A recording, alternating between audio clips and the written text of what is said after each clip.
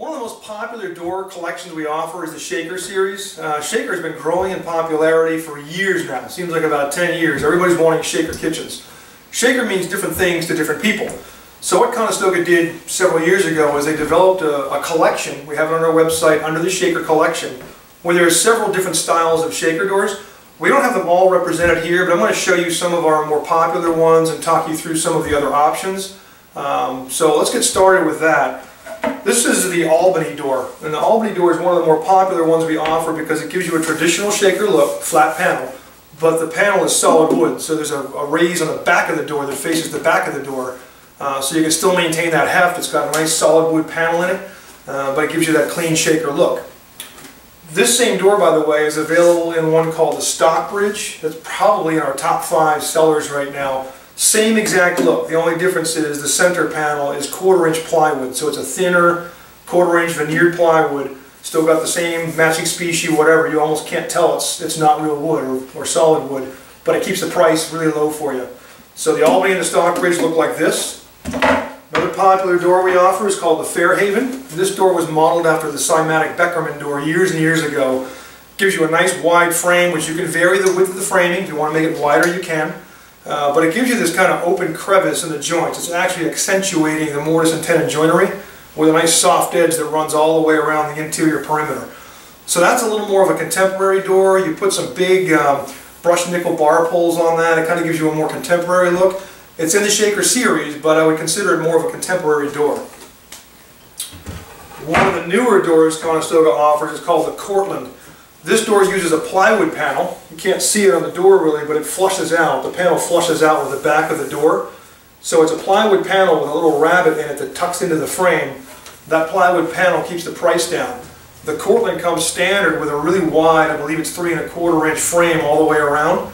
So it gives you a much more burly, wide looking frame, which is very popular these days.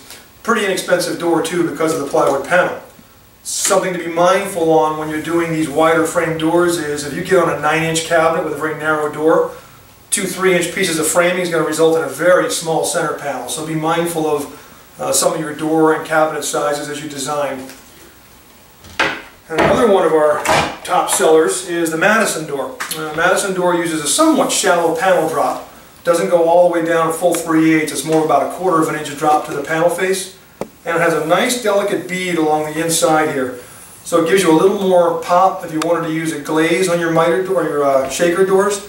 This is a good door to use it on because the glaze has somewhere to grab, whereas on these doors the glaze has nowhere to grab.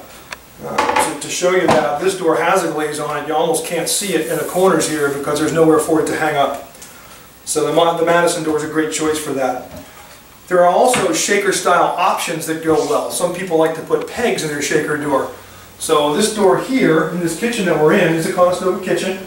This uses just a simple TW10 door with a regular bead on it, but the owner of this kitchen chose to put a single peg in the corner of each door. It's a square walnut peg. You can do a matching species peg, although it wouldn't show up.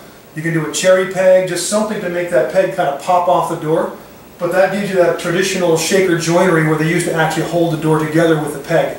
In this case, it's not a through peg, it's just a decorative peg. The door is still mortise and tenon together, but it does give you a nice design element to kind of dress up an otherwise simplified kitchen.